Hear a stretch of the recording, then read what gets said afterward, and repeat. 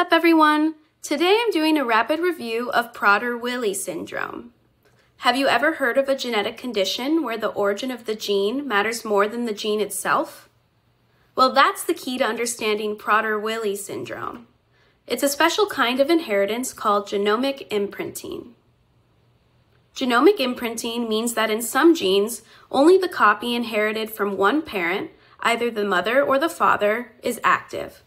The other copy is silenced or turned off by adding a tiny chemical tag to the DNA in a process called methylation. In this special region on chromosome 15, a unique pattern of silencing is passed down. The genes from our mother's chromosome in this region are normally and naturally methylated and therefore silenced. So, we rely entirely on the unmethylated, active genes from our father's chromosome for this region to function correctly. But what happens if those crucial paternal genes are missing or non-functional? Prader-Willi syndrome occurs, and there are three main ways this can happen. The first is a deletion. A deletion is the most common cause specifically a deletion of that key region on the paternal chromosome. And this is when the genes are simply gone. Next, maternal uniparental disomy, or UPD. This is when a person inherits two copies of chromosome 15 from their mother and none from their father.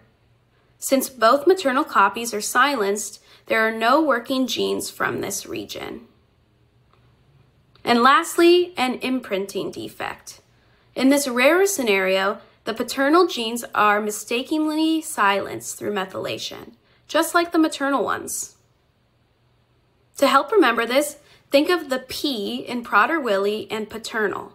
For Prader-Willi, the paternal gene fails to work. The lack of expression of these specific genes affects the hypothalamus in the brain, leading to a range of symptoms that progress with age. In infancy, symptoms include poor muscle tone or floppiness and a weak suck, causing feeding difficulties. This then shifts dramatically in early childhood. From childhood on, a key feature is chronic excessive hunger, called hyperphagia. Because they never feel full, individuals with Prader-Willi syndrome must have their food intake strictly managed to prevent dangerous obesity. Other symptoms include cognitive and learning delays, behavioral challenges like stubbornness and temper tantrums, and underdeveloped sex organs. And that's your rapid review. Hit that like and subscribe button for more quick study tips. Feel free to comment with your tricks in the chat, and I'll see you next time.